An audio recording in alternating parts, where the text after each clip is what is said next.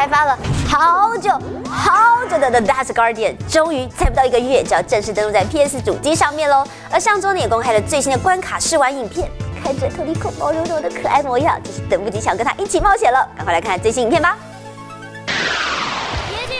让老玩家等待了七年的食人巨婴 Tolico 总算要在下个月发售的《The Last Guardian》中登场啦！在本作中，玩家扮演的少年主角将会和 Tolico 在奇特的神秘岛屿进入一场奇幻冒险。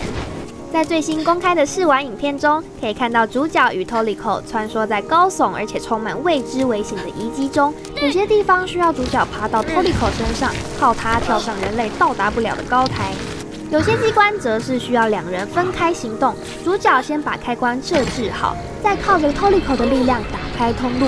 就像上田文人制作人之前的作品《汪达与巨像》和《Eco》一般，玩家绝对会深深着迷在《The Last Guardian》里那个静谧又充满魅力的遗迹世界里。